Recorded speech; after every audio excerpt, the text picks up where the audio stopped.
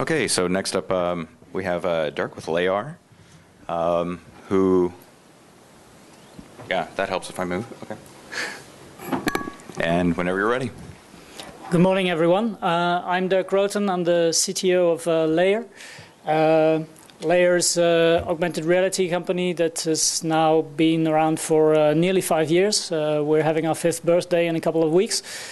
Um, and uh, here's my uh, Twitter handle if you want to uh, follow me or ask me questions. So, just for those of you who aren't familiar with Layar, I'll give a brief overview of what we do. And my talk is going to be specifically about looking at what we've done to make the augmented reality stuff that we're doing on smartphones possible also on uh, on glass on Google Glass specifically.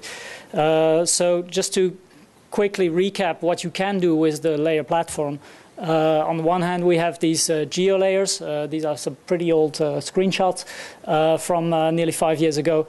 Um, so overlaying content on top of uh, reality uh, using just the geolocation, your position, the compass, uh, knowing which direction you're looking at. You can add uh, just simple points of interest, but you can also add 3D uh, uh, models or augment the world with with new with buildings that are to be built or that have have been built in the past.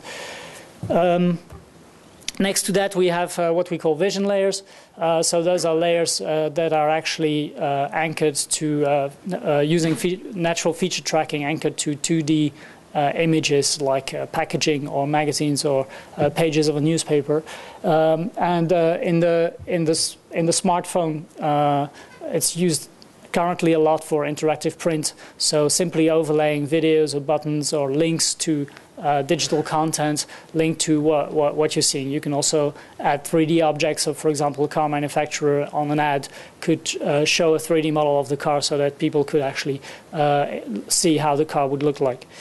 Um, we have a Layar creator. That's the content creation tool uh, that is most used. Uh, we have more than 85,000 uh, creators that have already used this tool. Next to that, we have APIs uh, that allow developers to actually uh, use a little bit more capabilities of our platform that are not available in the Layar Creator because they require a little bit of programming uh, also on the server side.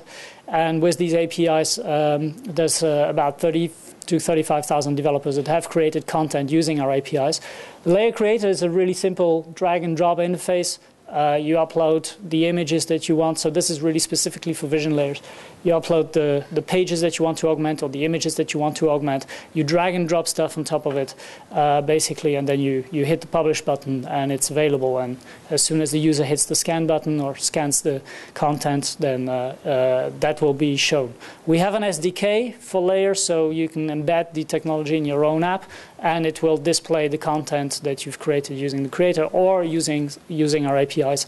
And that SDK works for geo layers as well as vision layers. And you can link the two, so you can actually start a geo experience from, from a page. So you, can, you could actually scan a page, and you could from there jump into an augmented experience of things around you, or show uh, a 3D model of something uh, standing in front of you. So basically, the, those are the tools that we have. Uh, what have we done for Google Glass?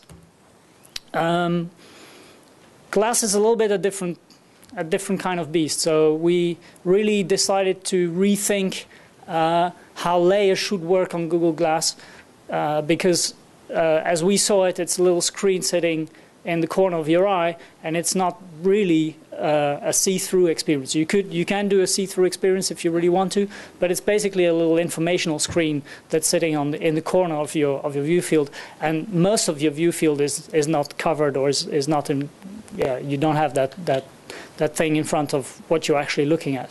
So basically, we've uh, we've used the GDK, the Glass Development Toolkit, to actually create uh, the application uh, recreate the application. We've actually changed the user interface quite dramatically to fit the UI of Glass, which is very simple. Uh, there's very little interactions you can do with Glass. You can't actually touch somewhere or, or click somewhere. That, that will be possible with something like Meta, where it can actually see your gestures and see where you're pointing at. But that's very difficult with Glass.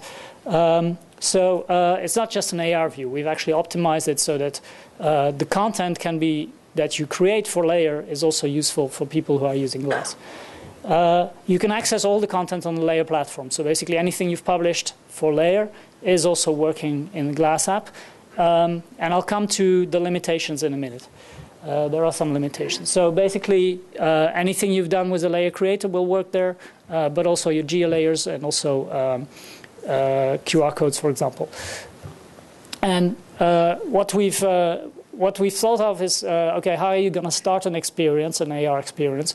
Are you going to install an app and then say, hey, I want to launch that app? Uh, that's not really the Glass model. Uh, Google has uh, really created a very, you know, uh, Robert Scoble said it during the keynote.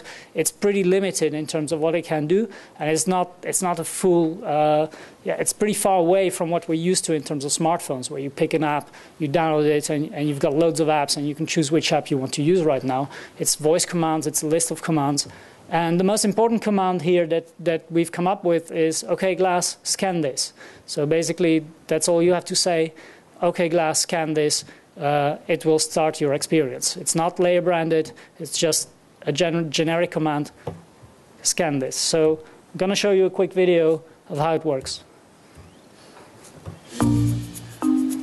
In 2009, we showed you how reality could be augmented with a smartphone. Now, we can show you how reality can be augmented with Google Glass. Here's how it works. Just say, OK, Glass, Scan this. And in just a matter of seconds, you're experiencing augmented reality in a true heads up fashion, right on your Google Glass. In this real estate example, you can tap to view more about a home for sale or rent. Or just swipe to browse through each listing in your area. With Layar for Glass, you can discover more about the world around you like seeing movie trailers play right on the poster. Ladies and gentlemen, welcome aboard our non-stop service from New York to London. You can use Glass to view any campaign published on the Layar platform, like interactive magazines with videos that play right on the page.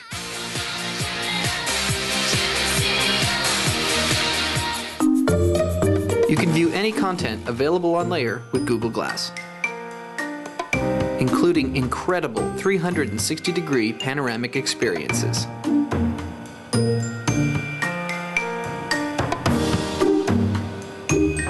Visit layar.com slash glass to download Layar for Google Glass. Or create your own glass content with the Layar Creator at layar.com slash creator.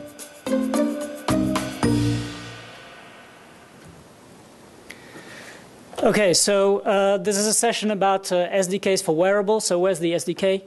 Uh, well, we didn't create an SDK for Glass. Uh, we think that uh, uh, for glass, you have to really think about uh, what is it that's going to trigger the experience and how are you going to trigger an experience. So there's two ways. It's uh, OK, glass scan this. If uh, if they have the Layar app installed, it doesn't really matter what they're scanning and what experience it is. it it'll just work. So um, they will they will scan. So you can create your content using our tools and our platform, our APIs, um, and it it'll work with OK, glass scan this. Uh, they don't have to install a specific app for that. Uh, it, it, would be stupid if you'd have to say, uh, OK, Glass, can this with my app, or OK, Glass, can this with this other app, or OK, Glass, can this. So really, we're trying to uh, uh, make sure that, that there's there's a limited set of commands on Glass and, and something like scan. We've registered scan this as a, as a generic command. Uh, Google is uh, currently in the process of approving it. Uh, and a lot of apps could be using the same command actually. And uh, uh, whatever app can actually handle it, it will, will start that app.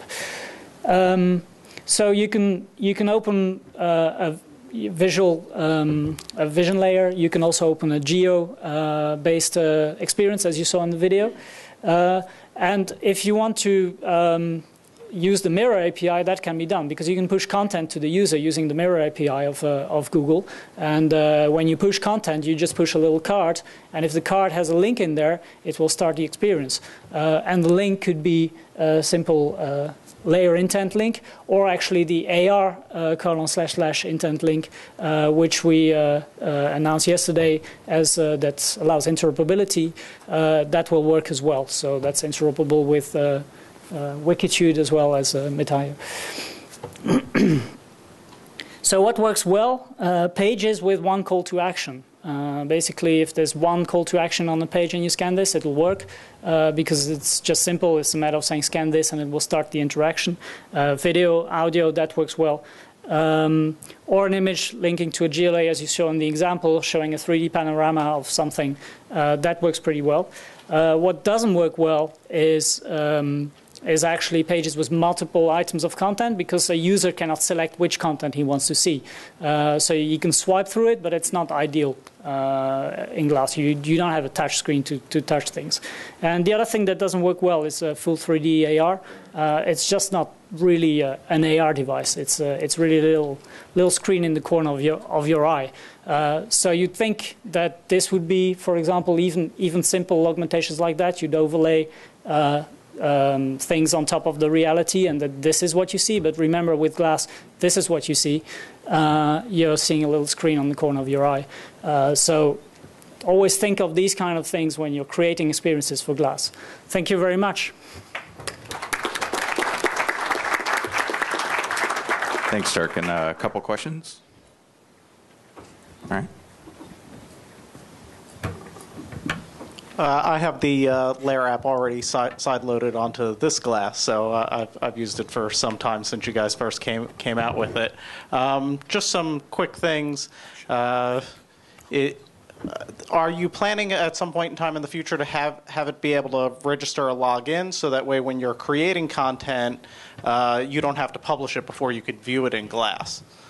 Is that maybe one, one of the areas that you're looking into? Uh, well, yeah, you can view it on in the app. You have a login, obviously, to, so that you can actually view your content before uh, before it's being published. Uh, actually, content that you create either using our Connect API or using the creator, you can actually temporarily publish it by hitting the test button, and that content is actually visible also on Glass while it's in that testing mode. But as soon as you close it, it will not be uh, visible anymore until you publish it. It's a little bit difficult to do a login on Glass, uh, but yeah, we, have been thinking of it, for example, with a QR code that you would show you a QR code on the website. You'd scan that QR code that would enable, uh, that would log you in, and then you'd be able to test your content. Yeah, but I'd, I'd advise you to just test it on on a device or to actually go into the testing mode on the Layar creator or using the Connect API. You can actually set it to test mode. Okay, that's definitely good to know. And, and, and like you said, it's the informational content around it uh, that's most useful, not the true AR content, because sometimes when you're looking at something in the corner of your eye through it, it doesn't work out as, as well. Uh, yeah, that's correct. I think people look at you in a strange way if you if you're looking through the through that corner of, of the glass and trying to. Yeah. But but but the it, it works pretty well. The the only other thing is that uh, it keeps on uh, getting knocked out every time Google does decides to do to do an update, a software update or so. so. That's true. It's still pretty unstable as mm-hmm. a platform to develop for. Yeah.